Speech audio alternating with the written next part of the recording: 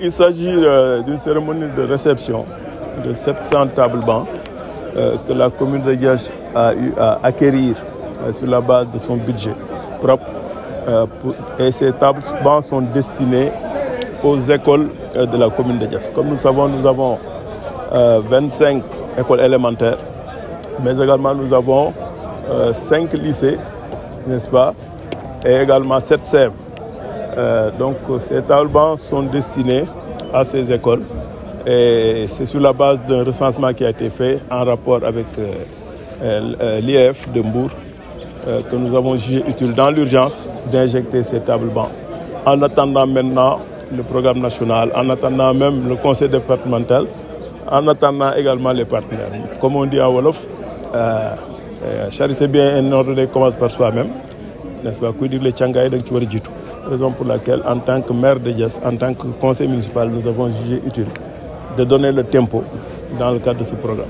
Oui, déjà il y en a 700 dans un premier temps euh, euh, et sur la base maintenant de la distribution qui sera faite euh, il y aura également un autre programme qui va accompagner cela parce que comme nous savons souvent il y a des tables bancs aussi qui sont défectueux au niveau des écoles.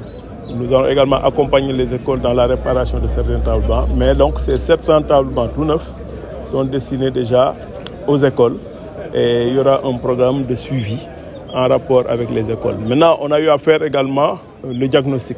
Nous savons exactement combien de tables bancs il manque dans notre localité. Également, il y a même combien de tables bancs défectueux à réparer. Et je profite de cette occasion pour remercier le président de la commission éducation, Issa Diouf, euh, qui est un enseignant émérite, euh, qui a fait ce travail en rapport avec sa commission, mais également en rapport avec l'IEF de Mbour. Oui, dis- disons, disons que c'est un investissement qui tourne autour de 24 millions. Euh, effectivement, nous allons accompagner également les DARA avec euh, des dotations en fourniture et en matériel. Euh, mais c'est un programme soutenu. C'est-à-dire que nous allons continuer à accompagner l'école parce que l'école est une préoccupation quotidienne. Parce que tout simplement, nous pensons que c'est à travers l'école qu'on construit le citoyen. C'est à travers l'école qu'on transmet les valeurs. C'est à travers l'école qu'on transmet le savoir et le savoir-être et même le savoir, le savoir-vivre. Oui, nous avons prévu dans le cadre de ce budget qu'on déroule actuellement, euh, euh, nous avons déjà euh, lancé, nous allons lancer l'appel d'offres la semaine prochaine. Le DAO est prêt, le dossier d'appel d'offres, pour la construction de 12 salles de classe, toujours avec les moyens de la main. L'éducation est une compétence transférée, donc nous ne devons pas et nous ne voulons même pas attendre l'État central. Nous voulons déjà donner le tempo euh, dans le cadre de la résorption de ces déficits en, en- en salle de classe.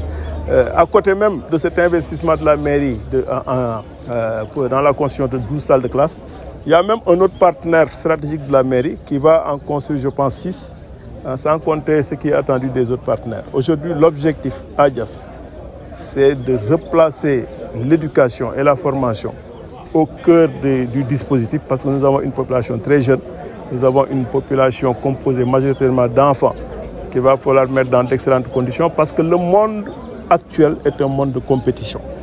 Nous, avons, nous devons déjà mettre ça dans la tête de nos enfants. Aujourd'hui, le monde actuel est basé sur le savoir. Est basé sur le savoir et c'est un monde qui sera impitoyable demain pour les- pour les- pour les- pour- pour l'humanité. Et il va falloir hisser sa population, n'est-ce pas, pour que cette population puisse être au top, n'est-ce pas, tant d'un point de vue savoir, mais également savoir-être et savoir-vivre.